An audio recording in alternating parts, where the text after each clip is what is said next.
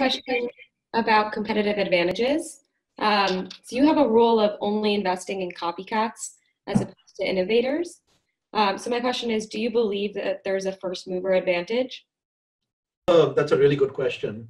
Um, so I think that one of the mental models which has served me really well, and it's a weird, it's a weird uh, nuance of humans. Uh, and I still don't understand why humans are this way, but they are this way. Um, humans are bad at cloning and copying. Uh, most humans and most companies almost think that it's beneath them. Um, they somehow think it's kind of, uh, you know, so, and so what that does is it opens up uh, a significant window of opportunities that would not exist without it. So obviously, if we are right on the innovators and the innovators, you know, grow and scale and whatever, uh, we do really well. I mean, you know, uh, uh, but but if you if you uh, so if we look at a company like uh, Microsoft, for example, um, Microsoft is the ultimate cloner. Okay.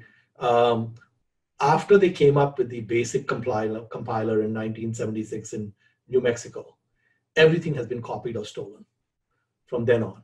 And they're not even very good at cloning. Like, you know, uh, when they tried to clone the Mac, it took them like 15 years and 10 versions to get, get there, you know. And uh, so um, Excel was copied from Lotus and Word was copied from WordPerfect PowerPoint was acquired, um, uh, you know, Access copied Oracle and Sybase, and uh, you know, um, um, you know, they finally gave up on search and they kind of, you know, went with Google. But you know, the acronym uh, for Bing is, but it's not Google. You know, so uh, they they not only they're, they're not a good cloner, they many times they fail.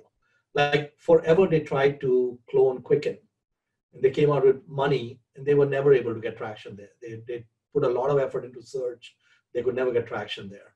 Um, so even with being a bad cloner, you know, like for example now, uh, Microsoft has Teams, right?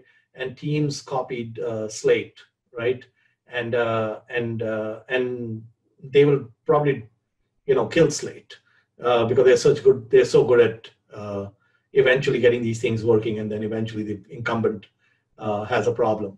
Uh, if you look at something someone like uh, walmart um, for more than 10 or 15 years after after sam walton founded walmart for at least the first 15 years there was no innovation. Every single thing about walmart was copied from kmart and, and sears they just they just lifted that model. And the reason why Sam Walton spent all this time in all the competitor stores is because he had no ideas of his own. He just looked at what other people are doing and he copied the best of what he could find. And and that's what so if you look at Walmart, I mean, what is the intellectual property of Walmart? Now, after 15, 20 years, they got you know a, a bunch of competitive advantage with scale and logistics and all of that. But in the first 10 or 15 years, there's no advantage. All they're doing is it's execution. It's great execution on a on a base model. If you look at Costco, uh, everything about Costco was copied from Price Price Club. So Sol Price.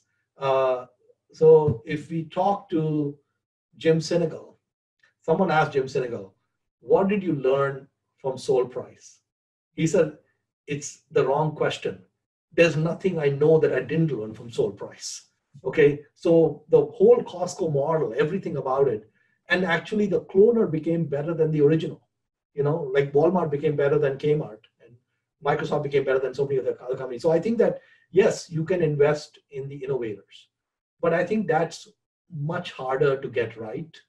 Um, if if if if some businesses are consistent cloners and they're good at it, uh, and I don't think markets recognize the power of great cloning.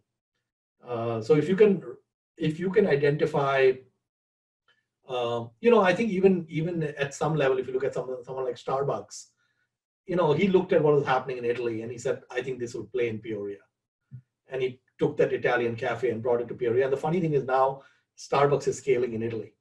You know, who would have thought that they can scale, scale in Italy, but they're scaling in Italy.